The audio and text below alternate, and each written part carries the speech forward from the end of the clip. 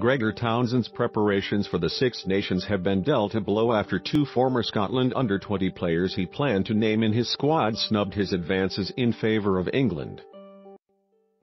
Gloucester scrum half Ben Vellacott and Stirling-born Gary Graham rejected the chance offered to pull on the dark blue jersey.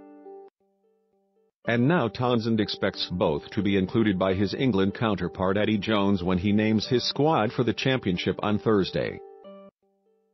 However, the Scotland head coach insisted he did not believe the RFU were indulging in any tit-for-tat tactics in the wake of their angry response in October to the number of English-born players coming through their system constantly being included in Scotland squads. Gregor Townsend's preparations for the Six Nations with Scotland have been dealt a blow. Two former Scotland under-20 players he planned to name snubbed advances for England back then.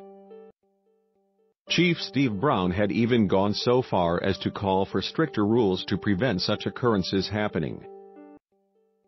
The latest to make the switch north were Newcastle Falcons centre Chris Harris, who won his first cap against Samoa in November.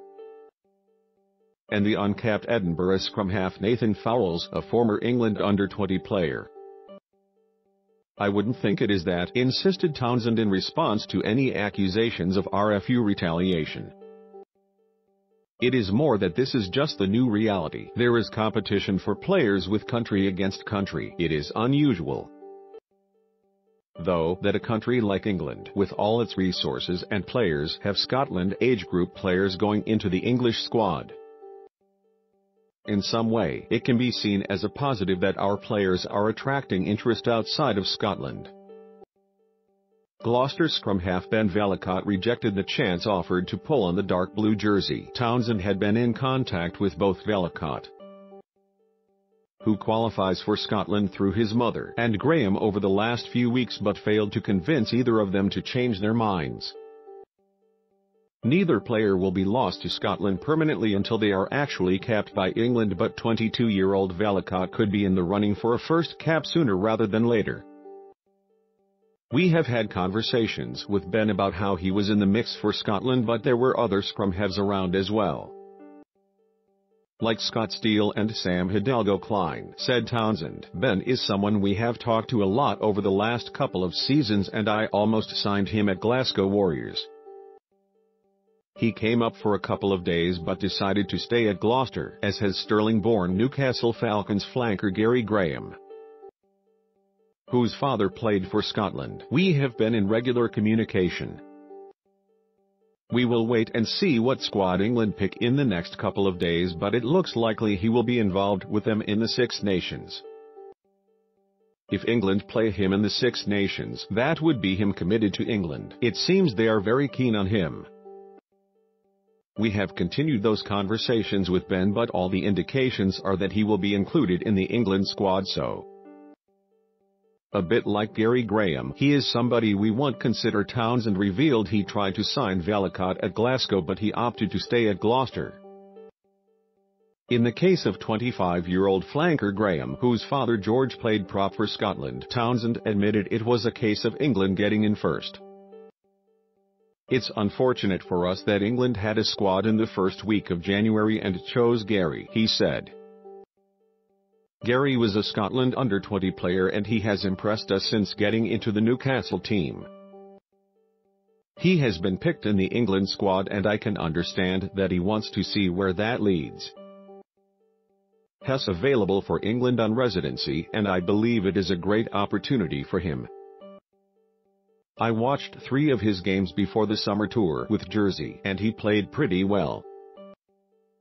I chatted to his dad and said we were looking forward to seeing him at Newcastle. He had traits that could allow him to play at a high level, which includes a good work rate and he is also a very good tackler. It has been a nice surprise to see how well he has taken to pro rugby. He only got a first start with Newcastle in November. I remember watching him then and thought he was doing well. With each game, he has got better. It's a credit to him. It shows that players coming through the Scottish system are doing well. In the case of both you can understand that if they are playing in England, they are in their system. Then they are maybe going to be watched more by the England coaches. It is ultimately a choice the players have to make if they get both those options. They have to commit to one of them Scotland coach Gregor Townsend is pictured as he announces his squad for the Six Nations. Out of the 40 players he was able to select for the Six Nations, there was a welcome return for scrum half Greg Laidlaw, who has not played for three months after breaking his leg. He will put pressure on Ali Price for the scrum half jersey. John Barclay retains the captain's role he took on when Laidlaw was injured during last season's Six Nations. There are four uncapped players in the squad props Murray McCallum and Darcy Rae plus scrum half Fowles and fullback Blair Kinghorn.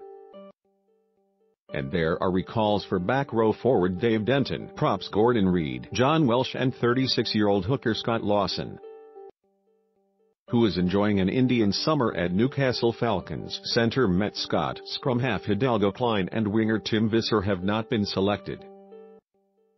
While Josh Strauss misses out through injury, Edinburgh flanker John Hardie is overlooked as he nears the end of a three-month ban.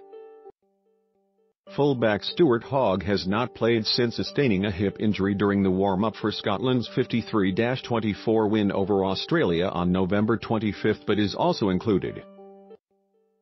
Lock Richie Gray has played twice for Toulouse after recovering from a back problem. While Edinburgh centre Mark Bennett returns after last playing for Scotland in the Six Nations loss to England last year.